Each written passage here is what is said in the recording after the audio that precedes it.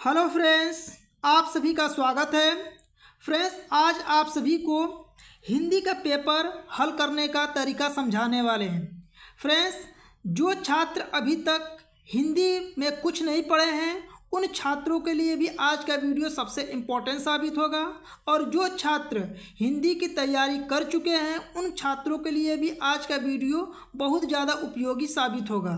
Friends, आज आप सभी को बताएँगे कि जिन प्रश्नों का आंसर नहीं आता है तो उन प्रश्नों का आंसर भी आप बोर्ड के एग्ज़ाम में कैसे देंगे? देखिए फ्रेंड्स, आप सभी का 22 फरवरी से हिंदी का पेपर है। आप सभी को पता है कि 22 फरवरी से आप सभी का हिंदी का पेपर है। तो आप हिंदी का जो पेपर है, जिन प्रश्नों का आंसर ना आए तो उन प्रश्नों का आंसर आप ट्रिक से कैसे हल करें? फ्रेंड्स ये यूट्यूब पर ऐसा वीडियो आपको कहीं नहीं मिलेगा। आपको एकदम नया तरीका बताने वाले हैं। बस इस वीडियो को अंत तक ज़रूर देखें, ठीक है? देखिए, जितने भी छात्र कक्षा दस के हैं, चाहे कक्षा बारह के हैं, उन सभी छात्रों के लिए आज का वीडियो बहुत उपयोगी होगा। इस वीडियो को कमज़ोर से कमज़ोर छात्र भी देखकर हिंदी में आसानी से पास हो सकते हैं, ठीक है? हिंदी के साथ में आप सभी को बताएँगे कि जो हिंदी का कापी होता है, उसका लिखने का सही तरीका क्या होता है, आपको इसमें बताने वाले हैं। साथ में आप सभी को यह भी बताएँगे कि जैसे गद्यांश हो गया, पद्यांश हो गया, चाहे संस्कृत का हो, चाहे हिंदी का हो, आप बिना पढ़े भी उसको कैसे हल कर सकते हैं, ठीक है? बहुत ज़्यादा ज़बरदस्त ट्रिक आपको बताने वाले हैं फ्रेंड्स तो आप वीडियो को एक सेकंड के लिए भी स्किप मत कीजिएगा। आज का वीडियो बस देख के आप बोर्ड एग्ज़ाम देने चले जाइएगा। यदि जैसे बताएँगे, इस प्रकार से यदि कापी लिख के चले आते हैं तो एग्ज़ामिनर आपको खुश होकर पूरा नंबरों की बौछार कर देगा, ठीक है? तो बस तरीका पता होना चाहिए, ठीक है? देखिए फ्रेंड्स, ये जैसे हिंदी का पेपर है, इसमें मान लीजिए कि हमें कुछ नहीं आ रहा है, फिर भी आप बिना पढ़े इस प्रश्न पत्र को कैसे हल करें? देखिए फ्रेंड्स पहले आपको बताते हैं कि खंडबा के प्रश्नों को कैसे हल करेंगे, फिर वीडियो के लास्ट में बताएँगे कि जो बहुविकल्पी प्रश्न है, जिस प्रश्न का आंसर ना आए, उस प्रश्न को कैसे हल करेंगे। तो पहले यहाँ पे आपको खंडबा के जितने भी दीर्घ उत्तरी प्रश्न है, चाहे संस्कृत को का है, चाहे आपका हिंदी के, सभी प्रश्नों को हल करके आपको बताएँगे और कापी पर कैसे लिखेंगे, सभी बताने वाले हैं। देखिए फ्रेंड्स आपके पास पहले दो पेन होना चाहिए, एक ब्लैक पेन होना चाहिए, एक ब्लू पेन होना चाहिए, ठीक है? देखिए, ये दो पेन होगा तो आप कैसे इस प्रश्न का आंसर देंगे। देखिए, ये खंडबा है खंडबा में वर्णात्मक प्रश्न रहता है। ये इक्कीस नंबर का सवाल है। पहले देखिए, आप इस प्रश्न को पहले देखिए, ध्यान से पढ़िए। और मान लीजिए कि प्रश्न का आंसर आपको नहीं पता है तो इसका आंसर कैसे देंगे? देखिए, निम्नलिखित पद्यांश पर आधारित तीन प्रश्न के उत्तर देना रहता है। ये टोटल कितने नंबर का रहता है? छः नंबर का प्रश्न रहता है।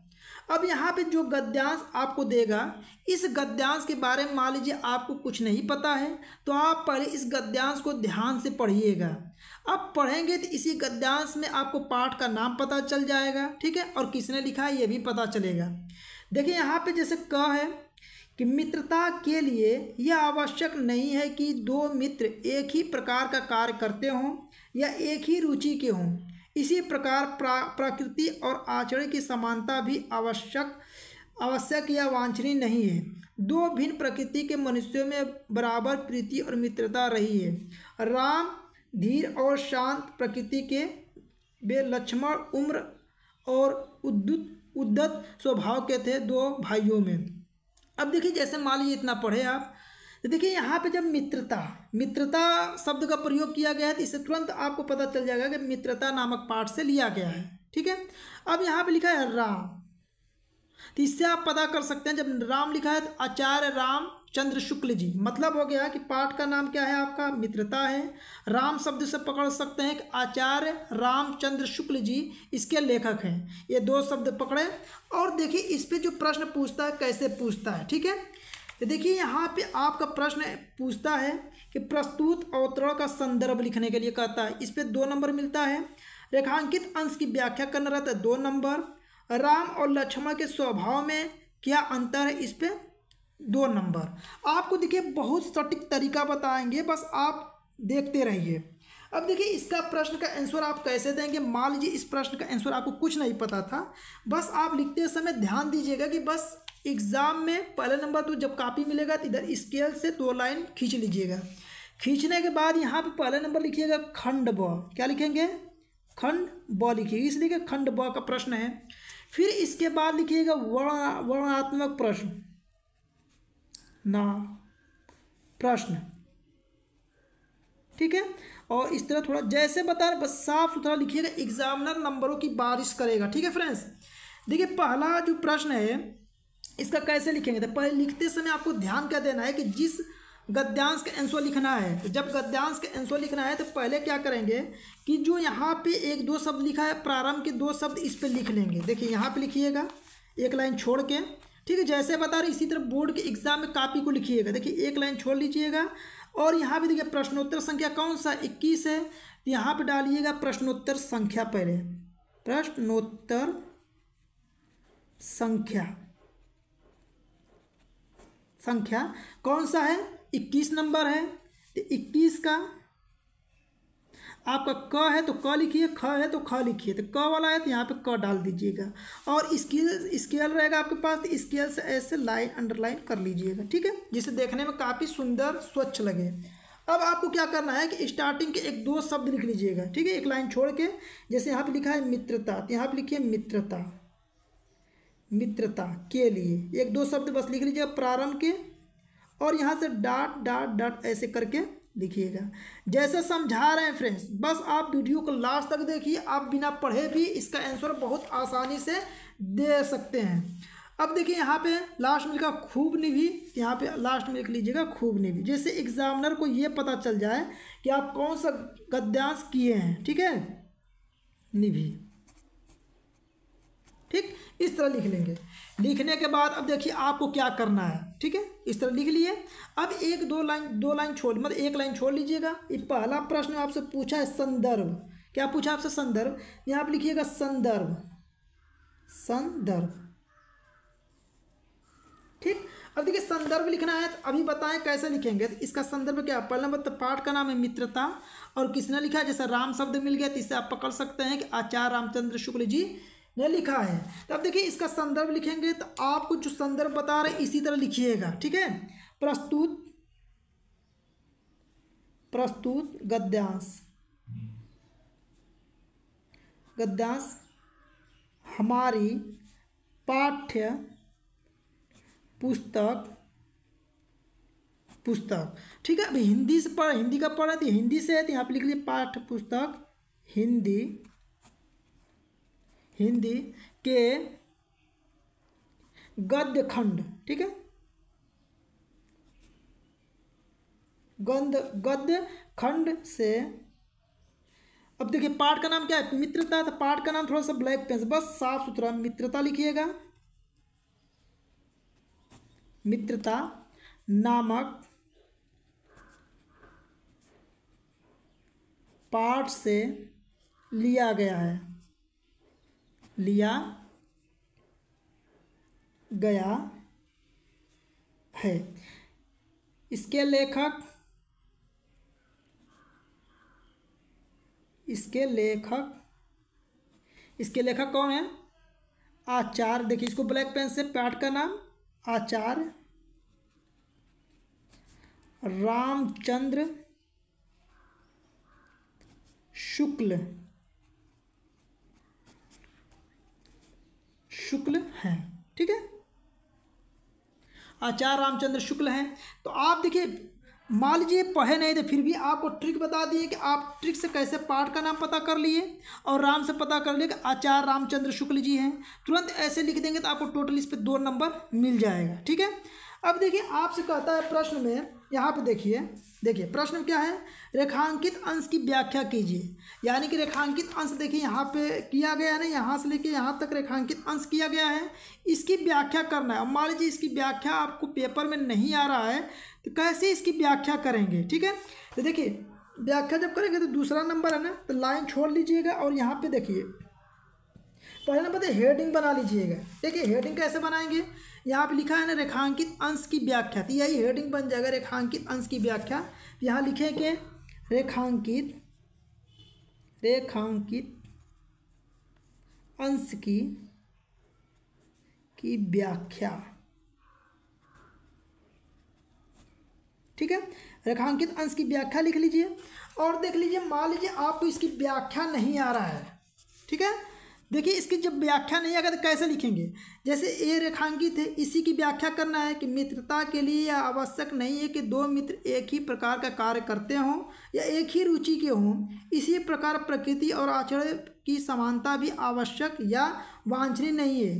दो भिन्न प्रकृति के मनुष्यों में बराबर, यानी कि यहीं तक करना है। तो आप क्या कीजिएगा, यदि बोर्ड के एग्ज़ाम में इसकी व्याख्या नहीं आता है तो आप क्या कीजिएगा, यहीं से लेके पूरा जितना यह पैराग्राफ दिया है यहाँ से लेके, देखिए यहाँ तक पूरा पैराग्राफ दिया है ना, पूरे पैराग्राफ को सेम टू सेम उतार दीजिएगा, ठीक है? आप यदि उतार देते एग्जामिनर देखेगा, तुरंत नंबर देके दो नंबर बढ़ जाएगा, ठीक है? अब देखिए, इसका जैसे व्याख्या करना तो कैसे लिखेंगे? तो आप देखिए, बस ये एक चीज़ ध्यान दीजिएगा, आप काट पीट मत कीजिएगा, जैसे लिखें, इसी तरह कापी बस लिखिएगा साफ़ सुथरा, ठीक है? अब यहाँ लिखेंगे जैसे मित्रता तो यहाँ लिखिएगा, मित्रता मित्रता के लिए के लिए यह आवश्यक यह आवश्यक नहीं है कि दो मित्र दो मित्र का स्वभाव, ठीक है, का स्वभाव एक जैसा हो, एक जैसा हो, ठीक है? उनके आचरण, ठीक है? एक स्वभाव एक जैसा हो लिख लिए। लिखने के बाद लिखेंगे उनका आचरण उनका आचरण आचरण भी एक समान हो। एक समान हो। अपने शब्दों में थोड़ा सा इस जो दिया रहेगा, इसी को तोड़ के लिख लीजिएगा ना। एक समान हो। ठीक है? उनकी रुचि। देखिए, रुचि के बारे में कहा है तो पूरा उतार लेंगे। मतलब देखिए, उनकी रुचि देखिए, इसी तरह जितना कहें पूरा उतारते हुए पूरा वाक्य को एकदम उतार लीजिएगा, ठीक है? यहाँ तक पूरे वाक्य को जो लास्ट में लिखा रहेगा, पूरे वाक्य को यहाँ पे उतार दीजिएगा। मित्रता खूब निभी। यहाँ पे मित्रता खूब निभी। ठीक है? इस तरह उतार दीजिएगा। देखिए, आपको जैसे बताएँ, साफ़ सुथरा लिखिएगा। यहाँ पे संदर्भ जैसे बताएँ, इसी तरह लिखिएगा। रेखांकित अंश की व्याख्या आपको जैसे बताएँ, थोड़ा सा इसमें अपने शब्दों में तोड़ के लिख लीजिएगा। या अन्यथा पूरे, जितना भी हिंदी में लिखा है, पूरे वाक्य को जैसे के तैसे उतार देंगे, तब भी एग्जामिनर आपको पूरे के पूरे नंबर देगा, ठीक है? जैसे इसको देखेगा, इस पर दो नंबर आपको दे देगा, इसको देखेगा, दो नंबर इस पर दे देगा। आपका एक नंबर भी नहीं कटने वाला है, बस ये तरीका जो समझा रहे हैं, इसी तरीका को आप अपनाइएगा। ठीक है? अब देखिए, आपका तीसरा प्रश्न का आंसर कैसे देंगे? देखिए यहाँ पे। अब यहाँ पे पूछा है कि राम और लक्ष्मण के स्वभाव में क्या अंतर है? तो राम और लक्ष्मण के स्वभाव में क्या अंतर है? तो देखिए, इसका आंसर आप कैसे लिखेंगे? आपको इसी पैराग्राफ में इसका आंसर मिल जाएगा। यहाँ पे तीसरा नंबर है तो तीसरा नंबर लिखिएगा। और देखिए, जहाँ पे राम और लक्ष्मण शब्द कहा होगा, वही पैराग्राफ आपको उतारना है। देखिए, जैसे यहाँ पे राम दिया है ना तो यहाँ से राम और लक्ष्मण के बारे में कहा तो राम यहाँ पे लिखा है और लक्ष्मण यहाँ पे। तो पूरा पैराग्राफ ये सेम टू सेम उतार दीजिएगा, यही इसका आंसर हो जाएगा, ठीक है? तो जैसे देखिए, यहाँ पे आंसर क्या है आपको पूछा है? राम और लक्ष्मण के स्वभाव में क्या अंतर थे? तो इसका आंसर देखिए, आप लिख लीजिए, ये पैराग्राफ देखिए, यहाँ से, यहाँ तक पूरा सेम टू सेम उतारना है। तो देखिए, राम, लिखेंगे राम धीर और शांत और शांत प्रकृति के थे। प्रकृति के थे। ठीक है, जबकि लक्ष्मण, ठीक है, लक्ष्मण उम्र और उम्र और, देखिए, ठीक है, उम्र और इतना लिख लेंगे उद्दो स्वभाव के थे। जैसे पैराग्राफ में लिखा रहेगा, उसी तरह सेम टू सेम देख के बस उतारना है आपको। स्वभाव के थे। ठीक है, अब इसके आगे दोनों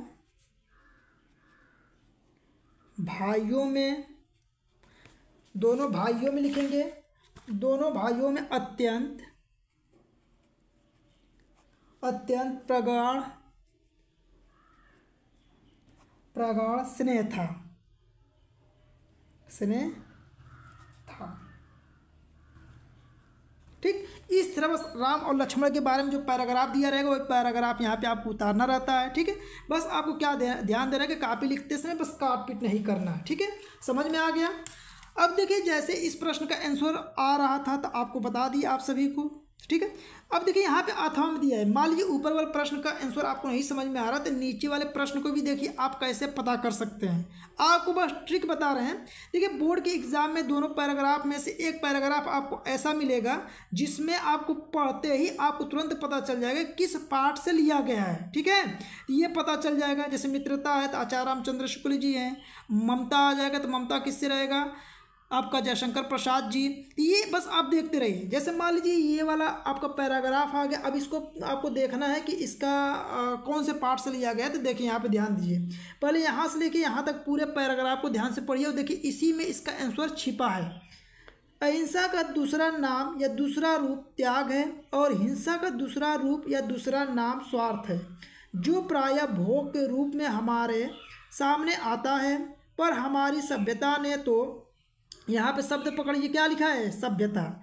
सभ्यता ने तो भोग भी त्याग से निकाला है और भोग भी त्याग में ही पाया जाता है।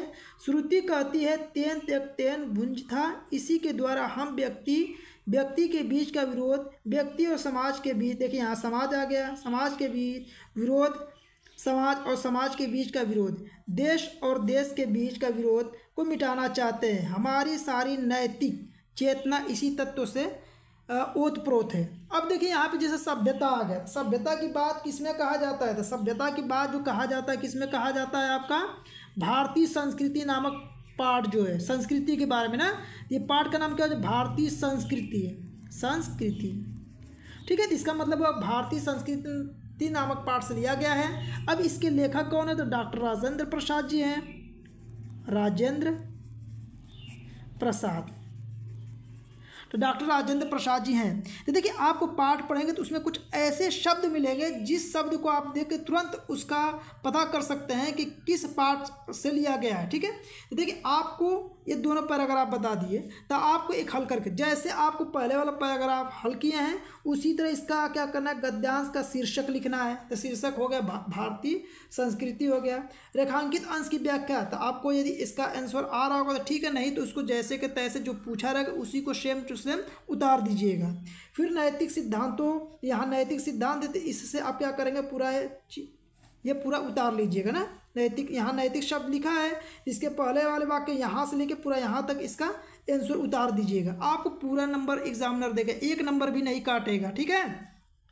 तो चलिए आपको गद्यांश से संबंधित जो प्रश्न थे आपको बताए हैं। अब बताते हैं आपको पद्यांश से संबंधित जो प्रश्न पूछता है, उस प्रश्न का आंसर आप कैसे लिखेंगे और कैसे पता करेंगे कि ये किस पार्ट से लिया गया है, इसके लेखक कौन है? बहुत सिंपल होता है फ्रेंड्स देखिए बाईस नंबर का, इसमें भी दो आपको पद्यांश देता है। दो पद्यांश में से एक पद्यांश ऐसा मिलेगा जिसमें उस लेखक का नाम छिपा रहता है और उसमें उस पाठ का नाम छिपा रहता है। बस आप देखते चले जाइए, आपको बताते हैं। यहाँ पे पद्यांश है इसमें से तीन प्रश्न पूछेगा आपसे। जैसे क वाला है, मान लीजिए यहाँ से लेके यहाँ तक आप पढ़ें, आपको समझ में नहीं आ रहा है कि ये किस पार्ट से लिया गया है। पढ़ के देखिएगा, और समझ में नहीं आएगा तो चलिए आपको अगला वाला पद्यांश दिखाते हैं, ठीक है? देखिए, आपके सामने अगला पद्यांश अथवा में करके देगा। अब इस पद्यांश को थोड़ा ध्यान से पढ़िएगा। आपको इसी में मिल जाएगा पाठ का नाम, और इसी में मिल जाएगा आपको लेखक का नाम। देखिए, खा वाला जो है उधो मोही ब्रज बिसरन नाही, वृंदावन गोकुल वन उपवन सघन कुंज की छाई, प्रात समय माता जसुमती और नंद देखी सुख पावत, माखन रोटी दहियो सजायो, अति हित सात खवावत, गोपी गवाल बाल संग खेलत, सब दीन हसत सिरा, सिरात, सूरदास। देखिए मिल गया ना? सूरदास, धनी धनी ब्रजवासी चिंसो हित जादू टाट। मिल गया सूरदास। इसका मतलब हुआ कि ये सूरदास के द्वारा लिखा गया सूर सागर क्या है? सूर सागर ठीक है? सूर सागर तो देखिए, अब इसका जैसे आपको देखिए, यहाँ पे भी तीन प्रश्न पूछेगा संदर्भ। दो नंबर का रहेगा, रेखांकित अंश की व्याख्या दो नंबर का, उपयुक्त पंक्ति में किस समय का वर्णन किया गया दो नंबर। अब इसका आंसर आपको लिखना रहेगा तो कैसे लिखेंगे? आपको जो तरीका बताए हैं, वही तरीका अपनाइएगा। पहला नंबर, ये प्रश्न नंबर बाईस है तो यहाँ पे क्या कीजिएगा? जैसे कापी मान लीजिए, यहाँ पे आपका भर गया। आप क्या करेंगे? आप एक पेज मत छोड़िएगा, ठीक है? जैसे यहाँ पे एक दो लाइन, तीन लाइन लिख दिए, अब नीचे इतने लाइन बच रहा है तो आप क्या कीजिएगा कि पेज मत छोड़िएगा। आप जो ब्लैक पेन रहेगा, उसी ब्लैक पेन से ऐसे चीना खींच लीजिएगा, ठीक है?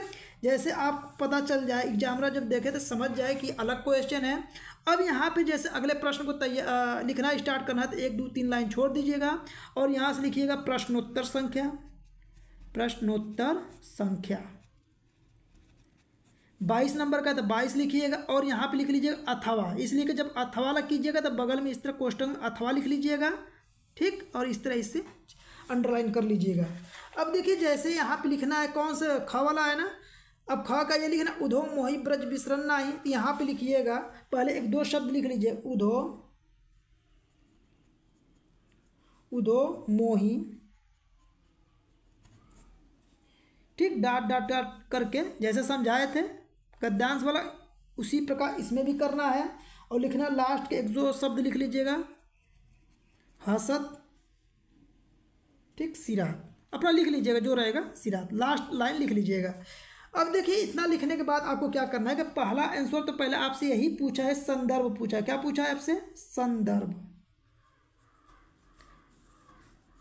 जैसे गद्यांश का संदर्भ लिखे, उसी तरह पद्यांश का भी संदर्भ लिखना है। तो आपको तो दो चीज़ पता चल गया कि पहले इसके लेखक कौन है? सूरदास जी हैं और किस पार्ट से? सूर सागर नामक पार्ट से है।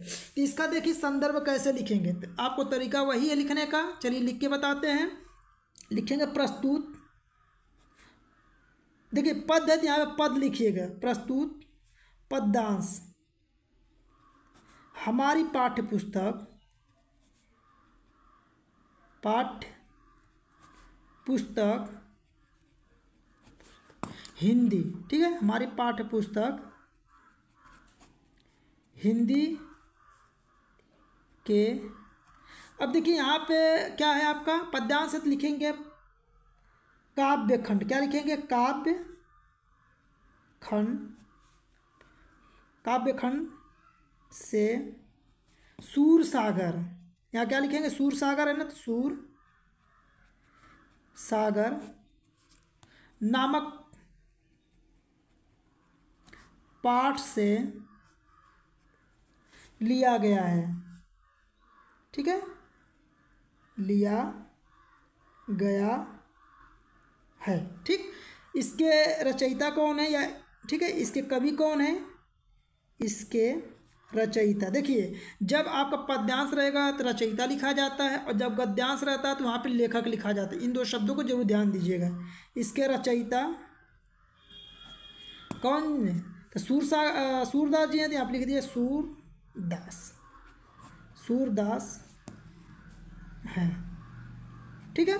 इतना इसका लिखेंगे, तुरंत एग्जामिनर देखेंगे, इस प्रकार से लिखे रहेंगे, तुरंत आपको दो नंबर तो आपको आप यहाँ पे पद्यांश और गद्यांश में से ही आपको आंसर निकाल के बता रहे हैं कि कौन से पार्ट है, किसने लिखा है, ठीक है? तो इसी प्रकार से आप लिखिएगा।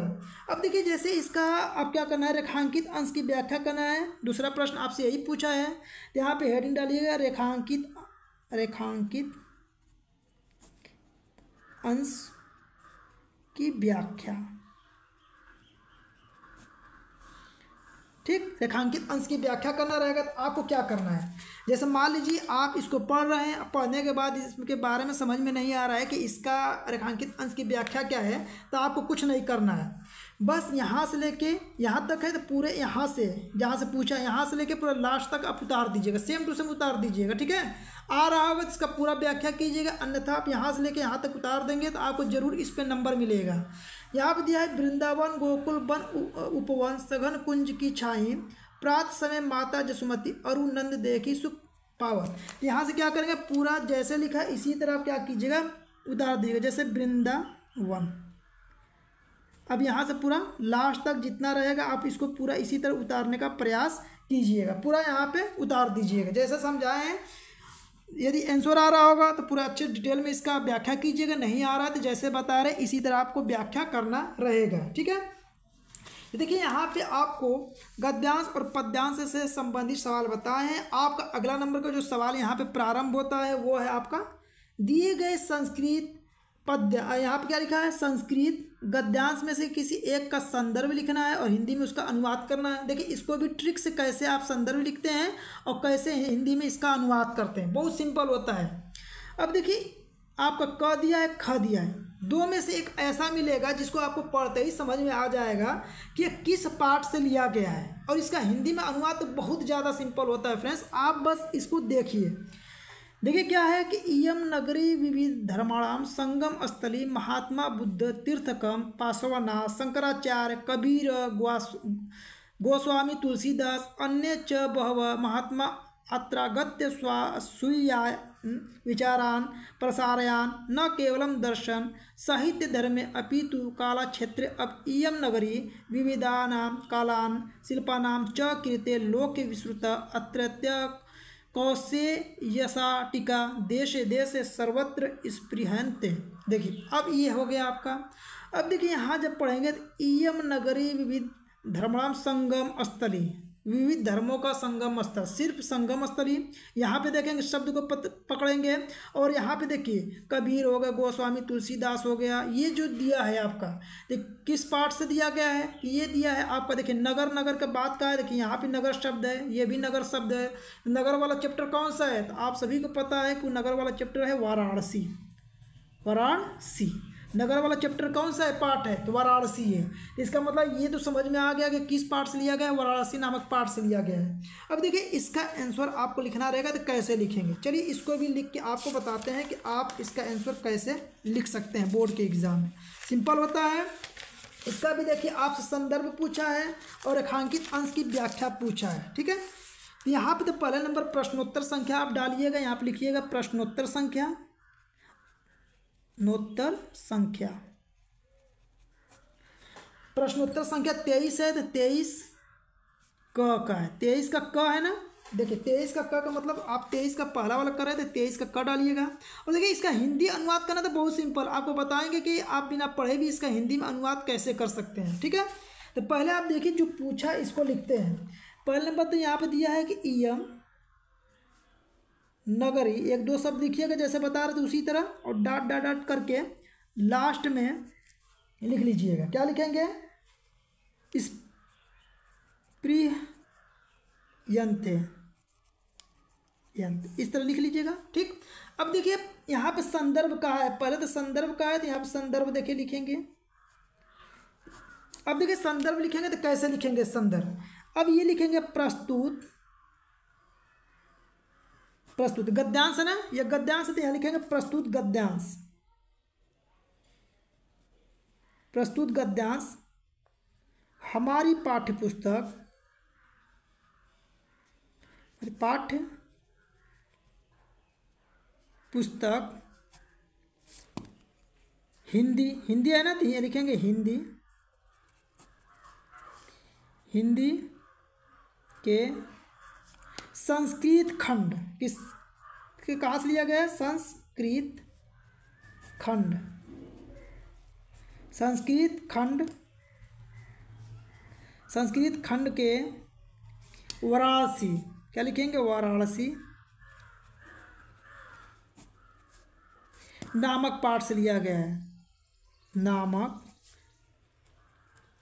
पाठ से लिया गया है। ठीक? इस तरह लिख लेंगे। अब देखिए इसका हिंदी में अनुवाद करना तो कैसे करेंगे? अब यहाँ पर लिखिएगा, हिंदी में अनुवाद। हेडिंग ज़रूर बनाते रहिएगा। जो पूछता है उसका हेडिंग बनाइए। देखिए, हिंदी में अनुवाद। हिंदी में अनुवाद।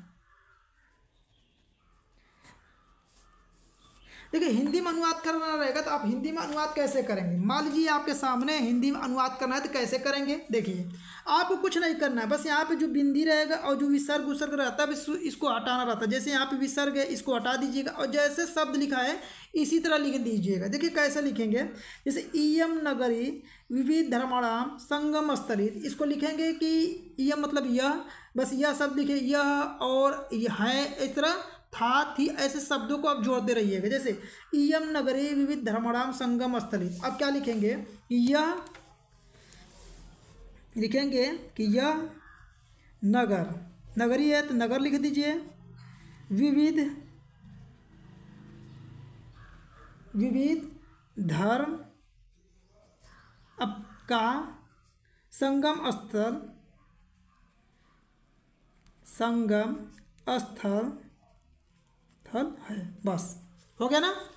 यानी कि देखिए इयम नगरी विविध धर्माणाम संगम स्थल मतलब यह नगर विविध धर्म संगम विविध धर्म का संगम स्थल है। अब देखिए, जैसे ये लिखा महात्मा बुद्ध, अब लिखेंगे हिंदी में कि जैसे लिखा है, बस विसर्ग हटा दीजिएगा।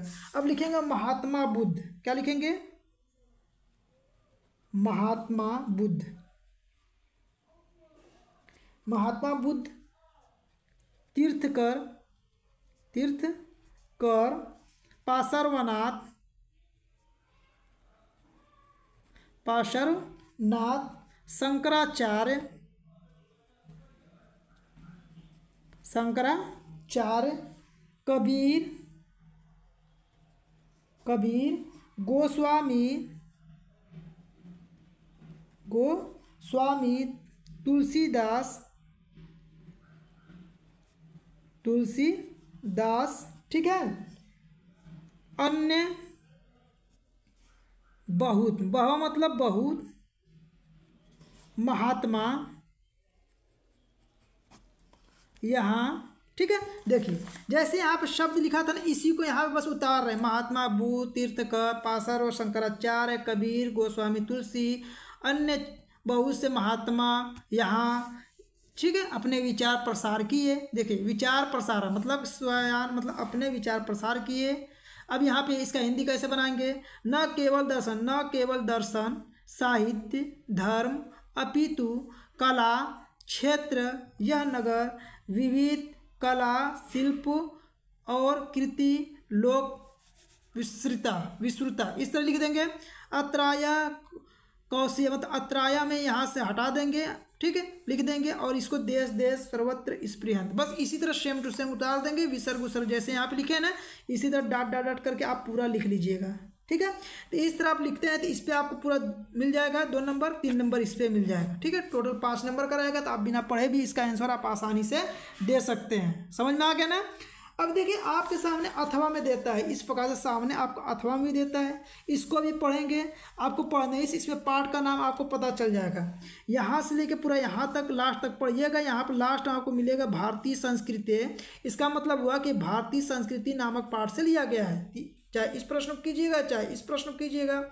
दोनों प्रश्न में से आपको दोनों में आप कुछ जो गद्यास पद्यांश चाहे संस्कृत का हो, चाहे हिंदी में गद पद हो उसी में पाठ का नाम और लेखक का नाम छिपा रहता है। बस आपको पता करने का तरीका पता होना चाहिए। अब देखिए फ्रेंड्स, आपके सामने यहाँ से अब आता है पद्यांश। अब पद्यांश वाले प्रश्न को आप कैसे करेंगे तो आपको तरीका पता है, प्रश्न लिखने का तरीका बता दिए। अब इसको कैसे करेंगे? देखिए, किसविद गुरुते भूमे, किसविद उच्चतरम च खात किसविद शीघ्रतम वतात, किसविद बहुतरम त्रिड़ात देखिए, जब किस्मित किस्मित शब्द का प्रयोग जहाँ पे आपको मिले ज़्यादा से ज़्यादा, ठीक है? तो वहाँ पे आपका जीवन सूत्राणी पाठ होता है। कौन सा होता है? जीवन सूत्राणी पाठ। सूत्राणी पाठ, ठीक है? जीवन सूत्राणी पाठ। आपका संदर्भ लिखना रहेगा तो वही तरीका है संदर्भ लिखने का कि प्रस्तुत अब देखिए, यहाँ पद्यांश प्रस्तुत, पद्यांश हमारे पाठ्य पुस्तक हिंदी के संस्कृत खंड के जीवन सूत्राई नामक पाठ से लिया गया है। जैसे आप लिखे थे, बस वहाँ पाठ का नाम चेंज कर देंगे, सेम टू सेम उसी तरह। हिंदी में अनुवाद करना रहेगा तो तरीका वही हिंदी में अनुवाद करना है कि आप जैसे विसर्ग उसर्ग रहेगा, हटा के बस सेम टू सेम उसी शब्दों को लिख दीजिएगा। लिखिएगा किस्वित गुरुतम भू में किस्विद उच्चतरम च खात, ठीक है? किस्विद, शीघ्रतम वतात किसविद। तो इस पर इस तरह लिखेंगे तो आपको ज़रूर, आपका तीन नंबर का प्रश्न रहेगा तो एक नंबर या दो नंबर इस प्रश्न में ज़रूर मिल जाएगा, ठीक है? तो आप जैसे बताएँ जय संस्कृत का लिख के अभी आप सभी को समझाएँ और इसको भी आप सभी को बता रहे हैं तो जैसे इसी तरह सेम टू सेम उतार दीजिएगा। अब देखिए, आपके सामने पच्चीसवां नंबर का प्रश्न आता है। इस प्रश्न का आंसर आप बिना पढ़े भी आसानी से दे सकते हैं। कैसे देंगे? कि अपने पठित खंड काव्य के आधार पर निम्नलिखित प्रश्नों में से किसी एक प्रश्न का उत्तर आपको देना है। देखिए, आप जिस जिला में हैं, जिस जिला में जो आप सभी को पढ़ाया जाता है, उस जिला के छात्र उसी मुक्ति दूत या उसी खंड काव्य को हल करना रहता है। ठीक है? जैसे देखिए आपको मुक्ति दूत खंड काव्य के आधार पर नायक का, जैसे नायक महात्मा गांधी जी का चरित्र चित्रण की विशेषता लिखना है तो कैसे लिखेंगे? तो आप देखिए आप इसके बारे में मान लीजिए, इसको पढ़े नहीं है, फिर भी आप आसानी से लिख सकते हैं। आप प्रश्नोत्तर संख्या डालिएगा क का डाल दीजिएगा, फ़र्स्ट वाला। अब यहाँ पे देखिए, इसकी विशेषता आप सभी को पता होगा महात्मा गांधी जी के बारे में। आप यदि भारत में रहते हैं तो आप सभी को महात्मा गांधी जी के बारे में ज़रूर पता होगा कि क्या थे। पहले नंबर तो ये देशभक्त थे। कैसे थे? देशभक्त थे। पहला हेडिंग तो यही बन जाएगा विशेषता में। ठीक? दूसरा हेडिंग बन जाएगा कि अहिंसावादी थे। क्या थे? अहिंसा वादी थे। दूसरा हेडिंग बना सकते हैं। तीसरा हेडिंग इसका बना सकते हैं। इनकी विशेषता में पहली विशेषता तो यही कि देशभक्त थे अहिंसावादी थे, फिर इसके अलावा हरिजन के उद्धारक थे। के उद्धारक? उद्धार। ठीक है, इस प्रकार से आप हेडिंग बना के इनके बारे में महात्मा गांधी जी के बारे में लिख सकते हैं, ठीक है? तो आप बिना पढ़े भी महात्मा गांधी जी के बारे में जितना पढ़े होंगे, जानकारी होगा, वही शब्द यहाँ पे सब कुछ लिखना रहता है। तो आपको खंड काव्य से संबंधित यदि प्रश्न पूछता है तो इस प्रकार से बिना पढ़े भी आप आसानी से महात्मा गांधी जी के बारे में लिख सकते हैं, ठीक है? अब देखिए, आपके सामने अगला नंबर का प्रश्न जो पूछता है, कैसे पूछता है? देखिए, आपसे प्रश्न पूछेगा कि जीवन परिचय के बारे में पूछता है तो जीवन परिचय तो आप याद कर लीजिएगा, याद रहेगा, तभी आप आसानी से लिख सकते हैं। अन्यथा आपको सन तो थोड़ा सा याद रहना चाहिए माता पिता के बारे में तभी लिख सकते हैं। ये तीन प्रश्न में से एक प्रश्न का आंसर देना रहता है। इसी तरह जीवन परिचय भी लिखना रहेगा तो जीवन परिचय भी आपको जैसे तुलसीदास हुआ सूर सागर हुआ, सूरदास जी हुए, इनका जीवन परिचय आपको लिखना पड़ेगा तो थोड़ा सा याद भी करने का प्रयास कीजिएगा। अब देखिए संस्कृत के कंठस्थ कुछ श्लोक होते हैं तो आपको एक श्लोक लिखना रहेगा पेपर में तो आप एक श्लोक ज़रूर लिख लीजिएगा। और यदि मान लीजिए कि आपको श्लोक नहीं याद है, फिर भी इसका आंसर देखिए कैसे लिखेंगे। तो आप क्या कीजिएगा, प्रश्नोत्तर संख्या सत्ताईस डालिएगा। यहाँ पर क्या करेंगे, प्रश्नोत्तर संख्या, जैसे सत्ताईस है तो सत्ताईस डालिए। प्रश्नोत्तर संख्या सत्ताईस। ठीक है? अब यहाँ पे श्लोक लिखना है तो पहले नंबर तो यहाँ पे श्लोक हेडिंग बना लीजिएगा। श्लोक हो गया इस तरह। श्लोक लिखने के बाद, अब देखिए जैसे आपको श्लोक, मान लीजिए पेपर में श्लोक नहीं याद है, फिर भी आप कैसे लिखेंगे श्लोक? तो देखिए इसमें आपके श्लोक दिए रहते हैं। उसी श्लोक को यहाँ पर क्या कीजिएगा कि आप लिख दीजिएगा, जो कि मना किया रहता है, लेकिन आप लिखेंगे तो एग्जामिनर ध्यान नहीं देता है तो आपको ज़रूर उस पर नंबर दे के आगे बढ़ जाएगा। जैसे देखिए ये है, ये आपका श्लोक है। इसी दोनों श्लोकों में से चाहे इसको लिख दीजिएगा, चाहे इसको वहाँ पे आप लिख दीजिएगा। यदि लिख देते हैं एग्जामिनर यदि दो नंबर का प्रश्न है तो एक नंबर ज़रूर आपको दे देगा, ठीक है? तो फ्रेंड्स देखिए, किसी भी प्रश्न का आंसर आप छोड़ के मत आइएगा। आपको सभी प्रश्नों का आंसर ज़रूर देना है। अब देखिए, आपके सामने ये प्रश्न आता है, जैसे संस्कृत के उत्तर पूछ पूछ रहा है तो संस्कृत के जो एक एक नंबर का पूछता है, इसे याद कर लीजिएगा, थोड़ा सा ध्यान दीजिएगा इस प्रश्न को। आपको चलिए बताते हैं कि निबंध। यदि निबंध पूछ दिया, आपको कम से कम पाँच निबंध देता है, पाँच में से क्या करता है, एक निबंध का आंसर लिखना रहेगा। अब देखिए, जैसे भारत में आतंकवाद कारण और निवारण, जनसंख्या वृद्धि के कारण और लाभ, बेरोजगारी, इसमें से जिस पे आपको निबंध याद हो तो लिखिएगा। और यदि आप निबंध नहीं पढ़े, न याद हो तो आप कैसे लिखेंगे? देखिए, इसका भी ट्रिक होता है। जैसे जनसंख्या वृद्धि के कारण और लाभ। हेडिंग बनाइएगा। यहाँ पर क्या बनाएँगे? लिखेंगे प्रश्नोत्तर संख्या। प्रश्नोत्तर संख्या। उनतीस है तो उनतीस डालिएगा। और यहाँ पर लिखिएगा निबंध। निबंध। अब देखिए, निबंध लिख रहे हैं। किस पे निबंध लिख रहे हैं? तो आप उस को लिख लीजिएगा। जैसे मान लीजिए कि आप लिख रहे हैं जनसंख्या वृद्धि देखिए सेकेंड वाला है। जनसंख्या वृद्धि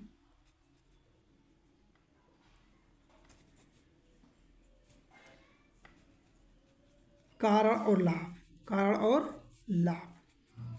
ठीक, इस तरह लिख लेंगे। अब आप ये बताइए फ्रेंड्स कि जनसंख्या वृद्धि के कारण और लाभ लिखना है तो जनसंख्या के वृद्धि से क्या फ़ायदा हो सकता है? ठीक है? उसके कारण क्या हो सकते हैं? लाभ क्या हो सकते हैं? इसके बारे में आपको लिखना है। तो देखिए, पहला मतलब जनसंख्या जब वृद्धि होगा तो किसी भी देश का विकास विकास रुक जाएगा। ठीक है, विकास रुकेगा। सभी छात्रों को जो अवसर होते चाहे पढ़ने के हों, चाहे खेल कूद के हों, सभी अवसर कम हो जाएगा। आप अपने परिवार में ही देख लीजिए, यदि आपके परिवार में दस सदस्य हैं तो सभी को पढ़ने का अवसर सही से नहीं मिल पाता है, ठीक है? तो अवसर आपको कम मिलेगा, ठीक है? प्रत्येक क्षेत्र में, यानी अब क्या सरकार के द्वारा जो योजनाएँ चली जा, चलाई जाती है, सभी को योजना का लाभ नहीं मिल पाता है तो इस तरह हेडिंग बना के आप चार पाँच छः हेडिंग बना के लिख दीजिएगा, ठीक है? और यदि आपको याद होगा तो उसको उसको क्या कीजिएगा, अच्छे तरीक़ा से, जैसे हेडिंग आप सभी को पढ़ाएँ ये सब है, जनसंख्या वृद्धि के कारण लाभ, हानि, ठीक है? आतंकवाद के कारण निबंध, ये सभी आप सभी को पढ़ाए हैं तो उसको आप ज़रूर से देख भी सकते हैं, ठीक है फ्रेंड्स? देखिए फ्रेंड्स, यहाँ पूरा पेपर का बताए हैं कि आप बिना पढ़े भी संपूर्ण पेपर जो हिंदी का रहता है, कैसे आप हल करेंगे? अब आपको बताते हैं कि जो बहुविकल्पी प्रश्न रहते हैं, उन प्रश्नों का आंसर ना पता रहे तो उन प्रश्नों का आंसर आप कैसे देंगे? ठीक है? देखिए, बहुविकल्पी जितने भी प्रश्न रहते हैं, बहुविकल्पी। जो बहुविकल्पी प्रश्न होते हैं, फ्रेंड्स आप सभी जब हिंदी का पेपर देने जा रहे हैं तो ऐसा नहीं हो सकता है कि 20 प्रश्न आपसे जो पूछा जा रहा है 20 प्रश्न में से आपको कम से कम सात से आठ प्रश्न ना आते हैं। हो सकता है इससे बेसी भी आए, ठीक है? कम तो नहीं आएँगे। सात से आठ प्रश्न आपको ऐसे पूछे जाते हैं कि आप कम से कम दस दिन भी, पाँच दिन भी पढ़े होंगे तो आप आसानी से सात से आठ प्रश्न बोर्ड के एग्ज़ाम में आपको ज़रूर आएगा वो विकल्पी प्रश्नों में। अब देखिए सात से आठ प्रश्न जैसे आपको आता है, कुछ प्रश्न जो होते हैं आपको मान लीजिए समझ में नहीं आ रहा है तो उसका आंसर आप कैसे देंगे? तो फ्रेंड्स देखिए, पहले नंबर तो आप क्या कीजिएगा कि जो पेपर का समय जो तीन घंटा रहता है, तीन घंटा में पेपर हल करना रहता है, उस तीन घंटा में आप क्या कीजिएगा, प्रारंभ के तीन घंटा में स्टार्टिंग में या प्रारंभ के समय में आप वैकल्पिक प्रश्नों को मत कीजिएगा, ठीक है? अभी देखिए आपको ओ एम आर सीट पर इसका आंसर देना रहता है। यदि एक बार ओ एम आर सीट यदि भर देते हैं तो उसमें किसी प्रकार का संशोधन नहीं कर सकते हैं। तो आप देखिए, जब भी ओ एम आर सीट को भरना होगा तो आप क्या कीजिएगा कि कम से कम आपका डेढ़ घंटा समय बीत जाए, ठीक है? डेढ़ घंटा तक आप दीर्घ उत्तरी प्रश्नों को, जैसा ट्रिक बताए उसी ट्रिक से हल कीजिएगा, ठीक है? आपका डेढ़ घंटा समय बीत जाए तो आप क्या कीजिएगा कि बहुविकल्पी प्रश्नों को हल करने का प्रयास कीजिएगा। अब देखिए क्या करना है, बहुविकल्पी प्रश्नों को आपको लास्ट में इसलिए बता रहे हैं करने के लिए, डेढ़ घंटा, दो घंटा के बाद कीजिएगा कि जैसे क्या होता है कि आपको अपने फ्रेंड से बगल में जो छात्र बैठे हैं वो हो सकता है कि उसको, उसके द्वारा कुछ आपको हेल्प मिल जाए, एक आध दो क्वेश्चन चार क्वेश्चन बढ़ भी जाए या इसके अलावा हो सकता है कि कुछ बाहरी स्रोत के द्वारा मतलब बाहरी स्रोत का मतलब समझ रहे हैं कि कॉलेज में जो कुछ होता है, आप समझदार हैं, आप इशारों को समझ लीजिए यूट्यूब पे इसको हम बता नहीं सकते हैं, लेकिन आप समझदार हैं कि आपको कॉलेज की तरफ़ से कुछ क्या हो सकता है तो कुछ हेल्प जो मिल जाए उसके द्वारा भी आपका प्रश्न कुछ सही हो सकते हैं, जिससे आप जहाँ पे सात, आठ क्वेश्चन हो रहे हैं तो वहाँ पे पंद्रह से सोलह क्वेश्चन सही हो जाए, ठीक है? इसीलिए आप यदि स्टार्टिंग में ही ओ एम आर सीट भर देंगे तो आप उस प्रश्न को सही नहीं कर सकते हैं। यानी कि ओ एम आर सीट भरने के बाद आपको ये प्रश्न का आंसर सही भी पता चल जाएगा तो आप कुछ नहीं कर सकते हैं। इसीलिए ओ एम आर सीट को एक, डेढ़ घंटे या दो घंटे के बाद ही हल करिएगा। अब देखिए, मान लीजिए कोई भी आपको हेल्प ना मिला तो आप प्रश्नों को तो पहले नंबर छोड़ना नहीं है। सात से आठ प्रश्न मान लीजिए पहले से आ रहा है। तो देखिए, आपको जो बहुविकल्पी प्रश्न होता है, पहला नंबर यदि किसी भी प्रश्न में आपको मिल जाता है कि सभी सही है, क्या लिखेंगे? सभी सही। सभी सही वाला ऑप्शन जहाँ पे मिला तो पहले नंबर उसको टिक मार लीजिएगा। हंड्रेड परसेंटेज आपका नाइन्टी फाइव प्रतिशत तक उम्मीद रहता है कि ये प्रश्न सही रहता है। दूसरे नंबर पे आपको ऐसा प्रश्न मिल जाए कि ए और बी, ए और बी सही है ये प्रश्न को आप मान ली, मार दीजिएगा। नाइन्टी फाइव प्रतिशत तक यही प्रश्न का आंसर सही होता है। इसके अलावा, इन प्रश्नों के अलावा आपको यदि जो प्रश्न मिलता है, जैसे मान लीजिए कि आपका बी और सी बहुविकल्पी प्रश्नों में बी वाला ऑप्शन और सी वाला ऑप्शन सबसे अधिक सही होता है, ठीक है? इसका प्रूफ आपको दिखाते हैं कि बी और सी कैसे सही होता है। चलिए प्रूफ देख लीजिए आप। देखिए, आपका बहुविकल्पी प्रश्न है, जहाँ पे आपका निशान लगा है, जिससे आपको पता चले कौन सा प्रश्न सही है। देखिए, यहाँ पे सी वाला ऑप्शन सही है, ठीक है? अब देखिए, आगे चले आइए। आपको बी और सी सबसे ज़्यादा ऑप्शन मिलता है देखने के लिए। देखिए, यहाँ पे बी वाला होगा तो आप बी और सी में से कोई ऑप्शन लगाइएगा, ठीक है? इसमें देख लीजिए सी वाला सही है, ठीक? आगे चलिए, प्रश्न को बताते हैं। देखिए, यहाँ पे बी सही है, फिर इसके बाद देख लीजिए सी सही है, ठीक है? इसके बाद देखिए, यहाँ पे देख लीजिए सी वाला ऑप्शन सही है। आगे प्रश्न को देखिए, ठीक? देखिए, यहाँ पे आपका क्या है? बी सही है, और यहाँ पे क्या है आपका? सी ऑप्शन सही है। अब देखिए यहाँ पे क्या है आपका बी यहाँ पे क्या है सी ठीक है? और यहाँ पे इस प्रश्न में क्या सही है? देखिए बी और सी सबसे ज़्यादा प्रश्न आपको मिल रहा है देखने के लिए ना? देखिए, और यहाँ पे इस प्रश्न को देख लीजिए। सी वाला ऑप्शन सही है। तो सबसे ज़्यादा जो ऑप्शन आपका सही होता है बी और सी वाला ही ऑप्शन सही होता है। तो आप बोर्ड के एग्ज़ाम में क्या कीजिएगा? यदि प्रश्न का आंसर आपको नहीं आ रहा है तो बी और सी में से ही कोई एक प्रश्न का आंसर आप लगा के चले आइएगा। आपका, वो लक पे निर्भर करता है कि आपका लक कैसा है। यदि लक सही रहा तो सभी बहुविकल्पी प्रश्न भी सही हो जाता है कभी कभी ठीक है? देखिए फ्रेंड्स जितना भी पेपर था आप यदि अभी तक कुछ नहीं तैयार किए थे ये ट्रिक बस लगा दीजिएगा। और जो छात्र पढ़ रहे हैं, उनको भी कभी कभी प्रश्न में क्या होता है कि जिस प्रश्न का आंसर ना आता हो, उन प्रश्नों में यह ट्रिक आप ज़रूर अपनाइएगा। एग्जामिनर आपको ज़रूर हंड्रेड परसेंटेज नंबर देंगे। और देखिए, एक चीज़ ध्यान दीजिएगा, किसी भी प्रश्न का आंसर आपको बोर्ड के एग्ज़ाम में, किसी भी सब्जेक्ट में छोड़ के नहीं आना है, ठीक है? तो फ्रेंड्स देखिए, जितना भी तरीका बताए हैं, आपको ये तरीका कैसा लगा है कमेंट बॉक्स में उसके बारे में आप ज़रूर बताइए। तो फ्रेंड्स आपको ये वीडियो पसंद आए तो वीडियो को लाइक करें चैनल पर नए हैं तो चैनल को सब्सक्राइब करें और अपने दोस्तों के पास अधिक से अधिक वीडियो को शेयर करें।